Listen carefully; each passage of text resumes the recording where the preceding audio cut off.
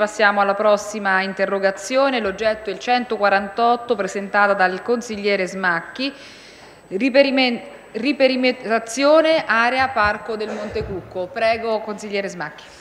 Sì, grazie Presidente, buongiorno a tutti. È un'interrogazione che parte da circa sei anni fa, Assessore, come lei ben sa, quando in data 17 luglio 2012 il Consiglio regionale ha approvato la proposta di legge d'iniziativa dei consiglieri Smacchi, Buconi e Lignani Marchesani con la quale si dava mandato alla Giunta di attivarsi per la ridefinizione delle aree contigue ai parchi regionali. Da quel momento è partita la procedura, tutta una serie di atti, eh, fra i quali l'approvazione da parte della Regione del rapporto preliminare del piano di gestione del Parco regionale del Monte Cucco, dando avvio alla procedura di VAS.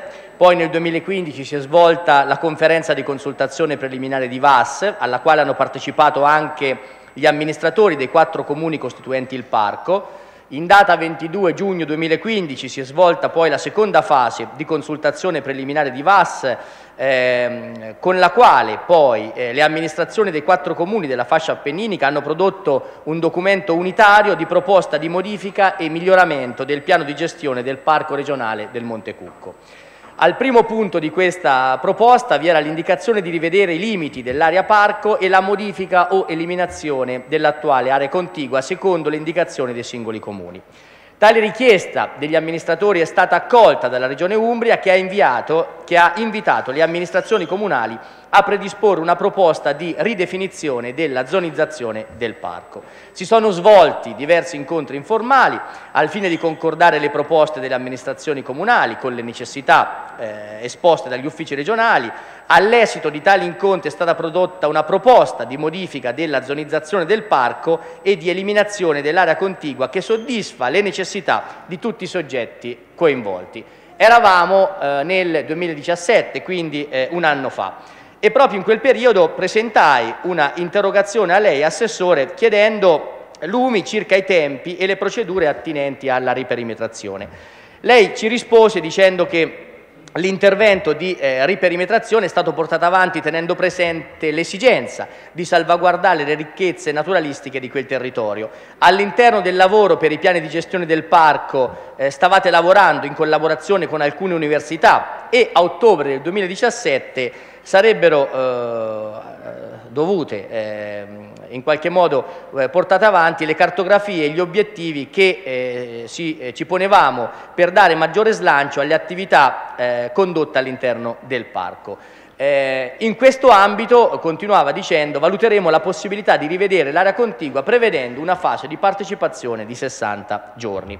Ecco, eh, sono passati alcuni mesi da quella scadenza che eh, ci eravamo dati e eh, questa nuova interrogazione ha proprio questo senso, quello di capire eh, ancora una volta i tempi e lo stato delle procedure per la ridefinizione dell'area contigua del Parco del Montecocco. Grazie.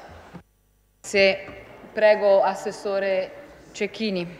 Sì, è vero consigliere Smacchi che risposi a quell'interrogazione indicando anche la tempistica necessaria per poter eh, portare in giunta i piani di gestione dei parchi dal momento che la rivisitazione eh, delle aree contigue dei parchi l'abbiamo inserita all'interno della redazione dei piani di gestione di parchi che stiamo facendo attraverso la collaborazione di eh, università importanti a partire dall'Università di Perugia anche per affermare che c'è bisogno di un lavoro serio nel momento in cui si va a restringere comunque un'area definita precedentemente con legge regionale, area comunque di pregio dal momento che è stata messa come eh, contigua eh, a, eh, eh a, un parco, a parchi eh, molto importante.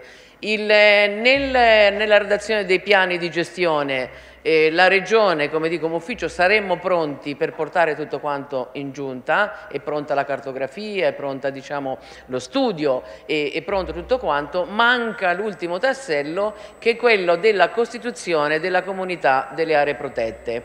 Cioè nel momento in cui eh, si va a eh, approvare il piano di gestione eh, dei parchi c'è bisogno anche di, della comunità che è una sorta di eh, organismo eh, costituito sulla base di una procedura eh, fatta con trasparenza dove si chiede di mettere a disposizione eh, di un nominativo tutti i soggetti che hanno ruolo per dare poi valutazioni sul regolamento, eh, sullo statuto, su tutto quello che riguarda poi la costituzione diciamo, dei nuovi piani eh, di gestione dei parchi.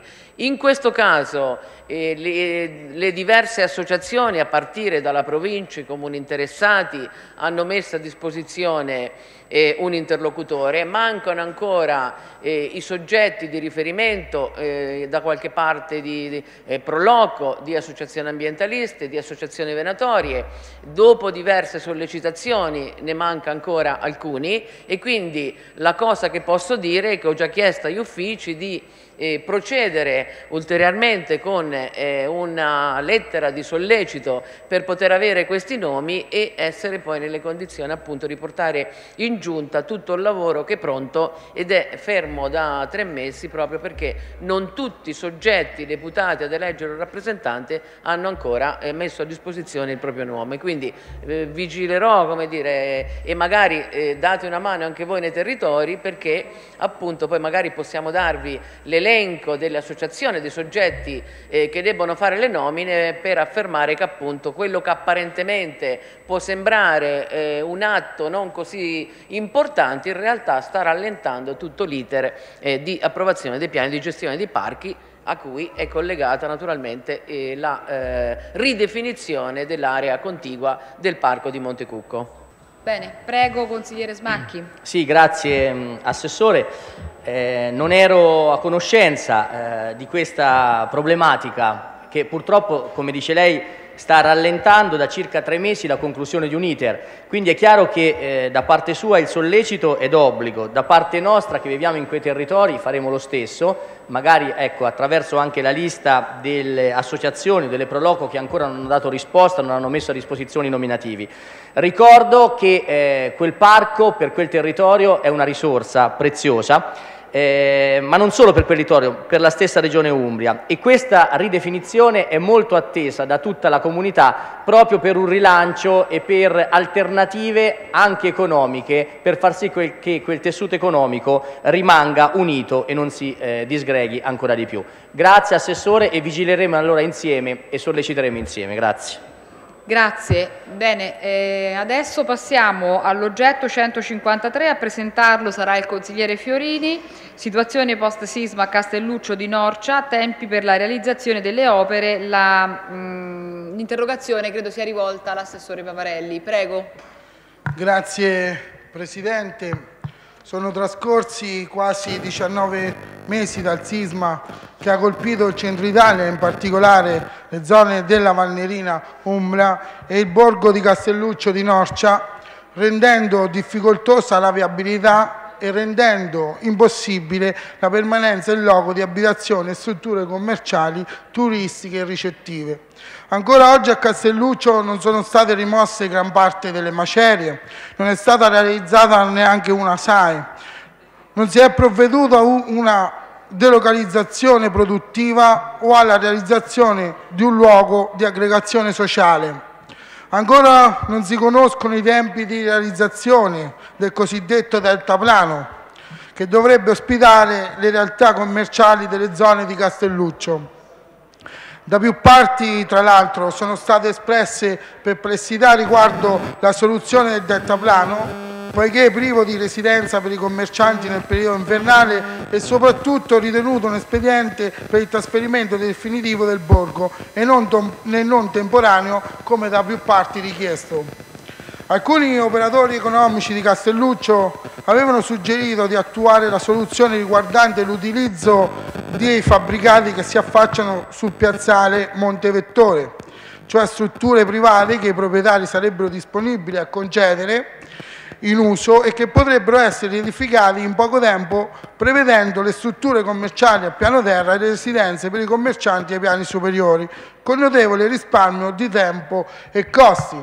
Questo progetto poi era stato anche avanzato dopo il terremoto del 79 e a due mesi prima, vi ricordo, del primo sisma del 26 agosto erano arrivate le autorizzazioni. Dunque io vorrei capire anche per quale motivo adesso eh, questo diciamo, deltaplano oh, viene costruito nella piana e con quali criteri è stata decisa questa soluzione.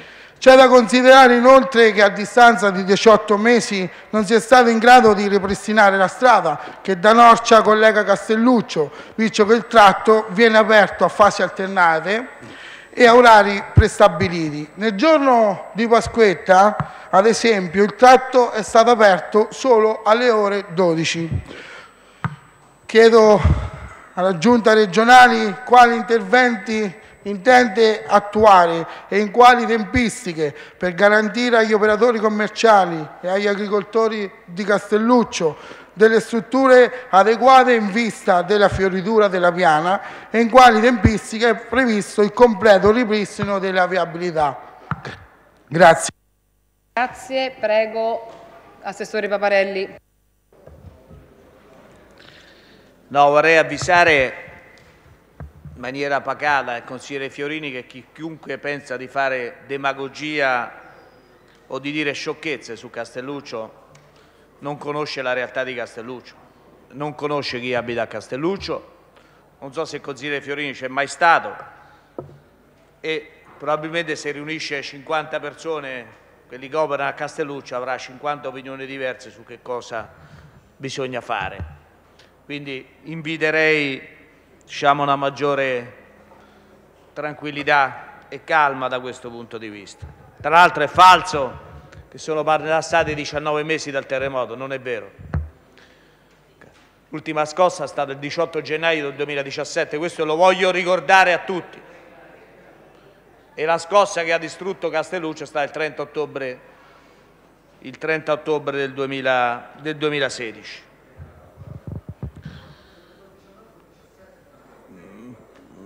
diciamo, la matematica per te è un'opinione, come ho visto prima, Fiorini per me è un una cosa un po' più seria. Insomma. Ma detto questo, ovviamente non ho alcuna esitazione a rispondere alle questioni poste, perché la situazione post-sisma a Castelluccio per la realizzazione delle opere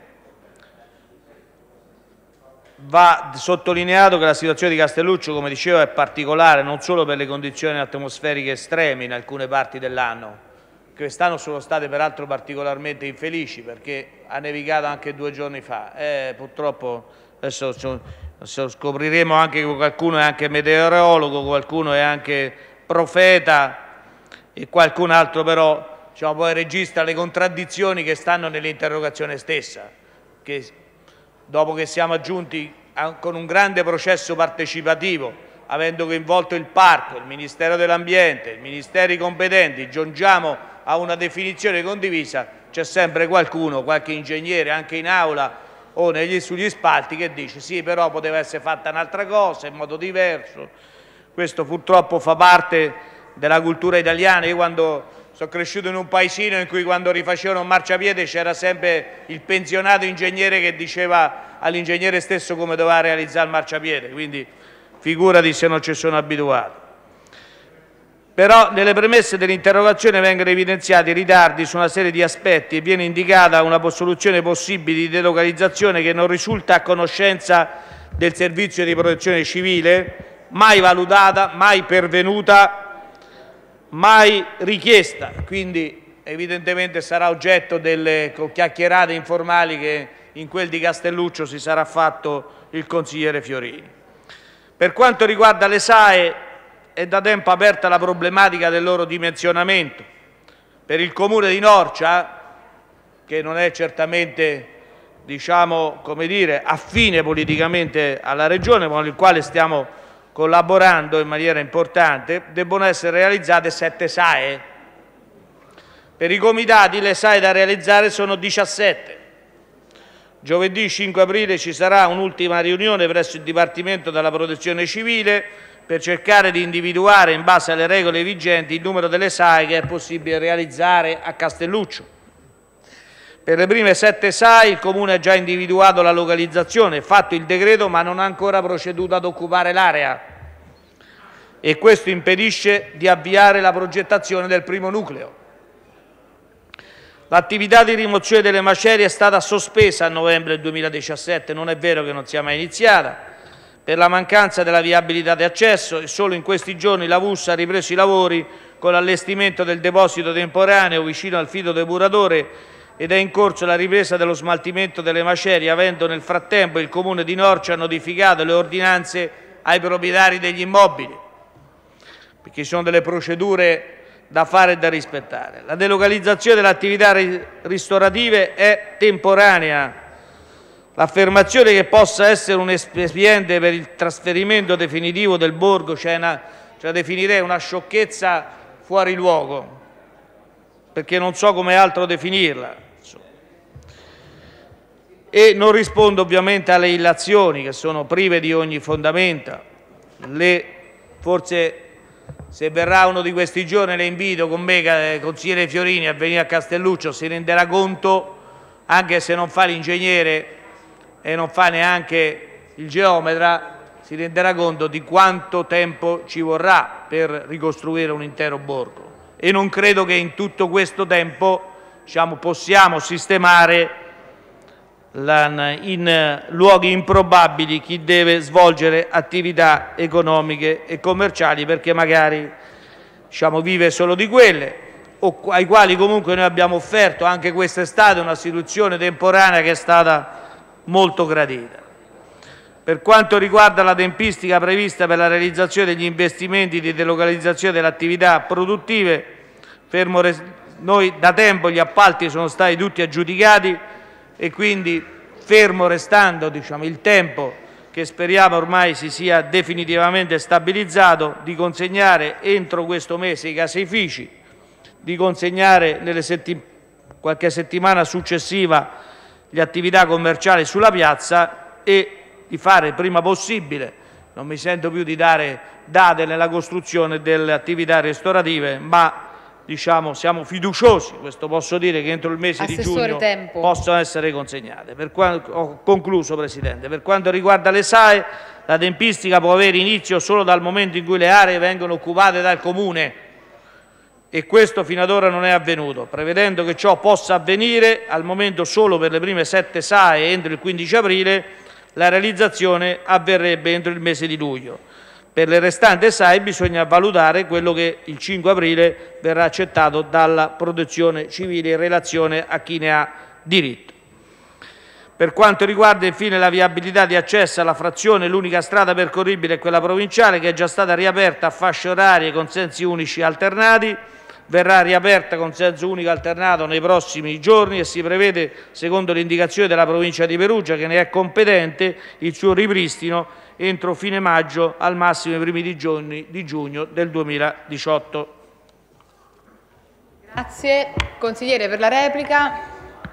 Grazie Presidente, ma io noto che l'assessore Paparelli non, non si smentisce mai con la sua arroganza io pongo una domanda al contrario, ma lei assessore è stato mai a Norcia o a Castelluccio? Io non l'ho interrotto. replichi, Papa, eh, assessore, assessore Paparelli? Io sono favore. stato buono, tranquillo, sereno, ho ascoltato tutte le stupidaggini che ha detto, ho ascoltato tutto. Per favore, Paparelli. Adesso ribadisco e dico, se lei è stata a Norcia e a Castelluccio si è reso conto che la ricostruzione non è partita da nessuna parte ci sono stati i ritardi nella rimozione delle macerie, l'adeguamento delle strade. Io credo che dopo 17 mesi, credo perché la matematica è 17 mesi, se togliamo i due mesi, dopo 17 mesi ancora ci sono gli orari per salire a Castelluccio. Nel mese di settembre a quello di dicembre 2017 non ha nevicato a Castelluccio eppure i lavori si sono fermati proprio per il pericolo neve. No, questo eh, glielo sottolineo, però ribadisco soprattutto che lì c'è una vera e propria emergenza. Ma stando alle sue dichiarazioni si doveva partire con i lavori per il deltaplano il primo aprile come da programma per consegnarlo poi il 15 maggio. Si rischia di saltare un'altra stagione turistica e operatori Castelluccio e Norcia si sono già rassegnati a questa realtà. Io invece di utilizzare, Assessore, l'arroganza, chiederei, inizierei a chiedere scusa e a smetterla di nascondersi dietro a bugie che non stanno né in cielo e né in terra. Perché, come detto all'inizio, risottolineo, la ricostruzione non è ripartita da nessuna parte, non è partita da nessuna parte. tempo. L'unica cosa poi che le dico che credo la lezione del 4 marzo non vi sia servita Questo se lo può risparmiare, niente. mamma mia. Bene, allora andiamo avanti. Assessore, non si può applaudire, lei lo sa meglio di qualsiasi altro soggetto in quest'Aula. Passiamo all'ultima interrogazione che è presentata dai consiglieri Liberati e Carbonari all'attenzione dell'assessore Cecchini, orientamenti espressi dall'autorità Umbra per rifiuti e idrico sulla utilizzazione di combustibile solido secondario nei cementifici umbri e potenzialmente in altre aziende energivore. Intendimenti della Giunta regionale al riguardo. Grazie, al consigliere Liberati. Grazie Presidente. Dunque, Gubbio è una realtà notoriamente in forte sofferenza, come qualche altra. Non può diventare eh, l'immondezzaio dell'Umbria. Nessun territorio deve diventarlo, naturalmente, ma ci devono essere, devono essere praticate eh, delle iniziative nuove in tema di rifiuti. Quello che non si può accettare è l'escamotage di chi vorrebbe utilizzare eh, il cosiddetto CSS, che sono rifiuti, frazione secca non riciclabile dei rifiuti urbani e industriali asseritamente non pericolosi, nelle cementerie, nelle cementerie di Gubbio. Allora, che cosa eh, succede? Succede che, poiché il diavolo si nasconde nei dettagli, l'Auri, questa autorità Umbra rifiuti ed idrico, a pagina 113 del suo documento preliminare, di cui ha preso atto eh, con deliberazione 37 a fine dicembre 2017 l'autorità, questa eh, bozza preparata dalla Oikos Progetti, a pagina 113, improvvisamente si inventa contro la legge regionale, il piano regionale sui rifiuti, eh, delle alternative per la gestione, così viene chiamata, l'eufemismo, del rifiuto indifferenziato residuo presso le cementerie. L'auri poi, eh, attraverso l'oikos, devo supporre quindi che sia Auri a parlare a un certo punto, no? se non si prende mai posizione, dice allo stato attuale i gestori delle cementerie non hanno sviluppato previsioni relative agli aspetti economici. Ma perché si vuole invece bruciare il CSS? Siamo andati a cercare, siamo andati ad approfondire, ci sono su questo, c'è una bibliografia, vorrei dire, piuttosto ricca. Bruciare CSS significa spendere un terzo rispetto al petcock, ma il CSS, purtroppo, come è noto, genera macro e microinquinanti piuttosto rilevanti, piuttosto tossici, diossine, PCB, furani, metalli ed altro ancora. Ci sono delle plastiche dentro il CSS ed altro ancora, appunto. E allora noi, anche alla luce del fatto che a Gubbio sono state sottoscritte 3.000 persone, 3.000 cittadini hanno sottoscritto una petizione di fatto rivolta alla Presidente di Regione, io qui ho il documento di accompagnamento, nella quale si ricorda anche la storia dei pneumatici bruciati a lungo nella cementeria di Chigiano per molti anni, con gravi conseguenze naturalmente, no? perché bruciare le gomme, lo, voglio dire, è di per sé evidente, di palmare evidenza. Non è stata mai effettuata un'indagine epidemiologica in loco.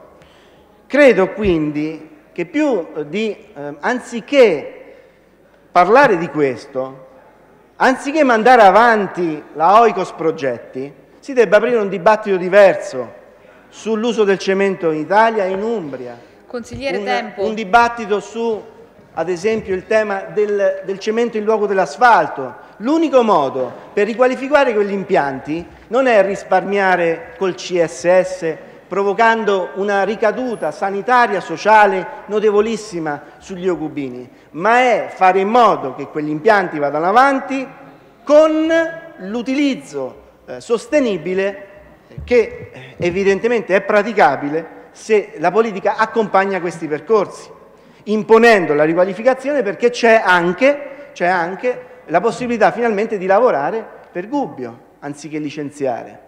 Perché le gallerie della Foligno Civitanova sono in cemento e invece in Italia c'è tutto asfalto quasi ovunque? Perché in America, dove io sono stato, il cemento è prassi? Perché in Germania è prassi, dura 5-7 volte di più e invece in Italia si, si utilizza l'asfalto? Cioè se vogliamo fare un, una riflessione più ampia, facciamola, ma non andiamo avanti con gli escamotage che non aiutano l'industria, non aiutano l'ambiente, non aiutano la salute di nessuno. Quindi vi chiedo di chiarire se vorrete opporvi eh, in merito all'uso appunto del CSS a Gubbio e naturalmente in tema di volumetrie aggiuntive della discarica di Colognola che come è noto è ormai esaurita e non bisogna più andare avanti anche alla luce della situazione ambientale preesistente. Grazie. Grazie, prego Assessore Cecchini. Sì, ma naturalmente anche laddove noi dovessimo opporci, ci opporremmo ad un documento ufficiale, formalmente non solo redatto ma anche partecipato e poi approvato, perché all'oggi la Giunta regionale non ha preso visione Potrei informalmente procurarmene una copia come ha fatto lei, però lei sa che la pubblica amministrazione parla attraverso gli atti che compie. In questo caso il, la bozza di eh, piano d'ambito regionale è in partecipazione eh, con i comuni che stanno tra l'altro mettendo a disposizione le osservazioni proprio eh, in eh, questi giorni. E la redazione di un piano d'ambito regionale era uno degli auspici nel momento in cui la giunta regionale ha inteso eh, immaginare un soggetto come Lauri che eh, rappresentasse la sintesi appunto regionale di tutto quello che riguarda la gestione eh, dei rifiuti e della parte idrica. E l'obiettivo che noi abbiamo dato di realizzare un piano d'ambito regionale voleva risolvere la criticità eh, presente in Umbria eh, alle prese in una regione eh, sotto i eh, 900.000 abitanti, alle prese con circa 20 gestori, con eh, eh, più ambiti e più piani d'ambiti, con diverse anche sia tariffe per eh, i cittadini, sia modalità di gestione. Quindi il piano d'ambito regionale dovrà far sintesi dei quattro ambiti che fin qui hanno rappresentato eh, l'interlocuzione, come dire, linee guida e eh, la modalità di gestione dei rifiuti in Umbria eh, facendo in modo che appunto attraverso una ricognizione dell'impiantistica, della gestione del porta a porta, della gestione complessiva dei rifiuti si potesse avere un eh, quadro regionale e naturalmente eh, il piano d'ambito regionale non si pone solo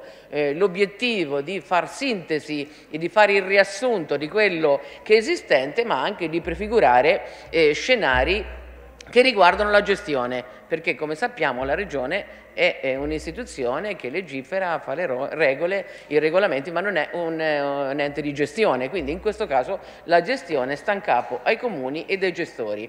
E, e da questo punto di vista quindi il piano d'ambito regionale è anche quello che va a eh, declinare quello che è il piano regionale dei rifiuti vigente fin qui che eh, vuol dire individuare una impiantistica adeguata utilizzando le migliori tecniche a disposizione per eh, applicare anche in Umbria la gerarchia dei rifiuti, quella prevista dalla normativa europea che vuole eh, di eh, massimizzare il, eh, diciamo, il, la trasformazione anche, e il riutilizzo, il, diciamo, la eh, produzione di eh, energia o combustibile e eh, la, eh, il riciclo e minimizzare il conferimento in discarica. Tra l'altro eh, stiamo andando in questa direzione anche con eh, fatica in Umbria, però abbiamo ridimensionato dal 2010 ad oggi mi pare di poco meno del 40% il conferimento in discarica, anche se ancora alto. Abbiamo eh, aumentato eh, di molto la raccolta differenziata e stiamo eh, subito diciamo, alle calcagne di quelli che sono gli obiettivi che ci siamo posti. In questo caso appunto il piano eh, d'ambito eh, indicherà anche con quali impiantistiche dove si potrà produrre CSS, perché poi per bruciare il CSS prima bisogna produrlo e produrlo vuol dire un, eh, investimenti ed impianti molto più eh, adeguati e moderni per far sì che quella parte secca di cui parliamo possa avere le caratteristiche di combustibile che tra l'altro eh, non essendo un rifiuto può eh, liberamente spostarsi nel territorio nazionale quindi Escludo che ci sia un piano regionale vigente che dice che il CSS si utilizza solo fuori regione, è una volontà politica, è una scelta politica della regione che dice attraverso accordi con altre regioni i gestori poi utilizzeranno impianti fuori regione, ma non è, è come dire, nel piano regionale proprio per il fatto che essendo un combustibile non può essere limitata eh, l'utilizzo. Eh, naturalmente non so se in quella bozza che lei ha c'è scritto Gubbio o c'è scritto altro, il Comune di Gubbio partecipa alla stesura, quindi metterà a disposizione le proprie valutazioni. Nel momento in cui entreremo in possesso del piano d'ambito, quello approvato, quindi quello ufficiale, vedremo che cosa c'è scritto, che cosa prevede e eh, naturalmente lo confronteremo con il piano dei rifiuti vigente, ma anche con le, eh, gli obiettivi che come giunta regionale ci siamo posti, eh, dal momento che appunto laddove necessario non ci sarà alcuna difficoltà, ho detto in altre occasioni, quindi non riferita alla domanda che lei mi fa oggi, ma laddove fosse necessario, eh, noi andremo anche ad adeguare il piano regionale dei rifiuti sulla parte che riguarda appunto l'utilizzo del CSS rimane la volontà politica che è quella di eh, utilizzarlo attraverso accordi eh, fuori regione. Non mi risulta dalle informazioni che ho che ci sia alcun impianto, alcuna cementeria in Umbria autorizzata per utilizzare il CSS e quindi eh, parliamo di, di scenari che non ci sono, la verità è che mi pare qui senza polemica, non è che quando Acea chiede di poter utilizzare il 30% della disponibilità che ha eh, in, eh, bruciando eh, la parte secca dei rifiuti urbani no? è altra cosa eh, o è meno importante rispetto a un'ipotesi che le cementerie di Gubbia possono bruciare il CSS. E il rispetto come dire, delle norme delle, dei cittadini e della popolazione credo che debba essere fatto per tutti quanti indipendentemente che si abiti a Terni o si abita a Gubbio indipendentemente che da una parte come dice un comune che è socio e da una parte un altro comune. Assessore. Questo come dire ad onore del vero. Grazie. Spero... Eh, sì, no, sarò velocissimo. Grazie. Mi è sembrato, devo dire, su Colognola non ha risposto, gli chiederei più tardi magari. Comunque, Una prossima so... interrogazione magari, allora, eh, se le spacchetta Mi, sem- mi è sembrato il responso della Sibilla, ibis redibis non morieris in bello. È ambigua, cavillosa purtroppo, un po' eh, poco comprensibile, non si è capita la volontà politica, quello è fondamentale. Il Comune di Gubbio, come lei sa, come lei saprà, si è già espresso contro questa previsione e eh, insomma io la lettera ce l'ho ma ce l'hanno tutti i cittadini che si sì, informano. ma lei parla di un atto che la Giunta non ha visto, quindi Beh, commentiamo un atto che regionale, non è la, formalmente... Eh, Beh, è stato no, inviato ormai diverse settimane fa e quindi io credo che eh, l'assessore e la Giunta vorrà sicuramente prendere atto della volontà del Comune di Gubbio di non far incenerire questo materiale in loco perché evidentemente le preoccupazioni, l'inquietudine è già montata, ci sono 3.000 firme, cerchiamo di essere autentici, portavoce delle eh, istanze eh, delle persone, delle famiglie, delle imprese perché Gubbio, Gubbio scusi al Presidente, infatti ha già osservato, però capisce bene che la sua pressione... No, io dico che la vostra pressione politica sull'Auri è importante, perché noi che cosa stiamo facendo oggi? Stiamo interrogando stiamo interrogando perché tutti convergiamo verso quell'obiettivo. Quindi ecco, io le, le, chiedo questa forma di coordinamento e di armonia ascoltando le eh, richieste delle persone, dei cittadini. Grazie. Bene, allora, alla... prego, prego Assessore. No, mi perdoni, sulla discarica della di Gubbio. Naturalmente il piano regionale vigente individua tre discariche che hanno un futuro e eh, sta andando, le cose le stanno andando in questa direzione. Laddove l'amministrazione di Gubbio ha fatto richiesta non di un ampliamento ma di un utilizzo diciamo, della parte residuale che ha, eh, valuteranno gli uffici se questo è compatibile o meno. Grazie. Allora, abbiamo concluso la sessione del question time. Grazie.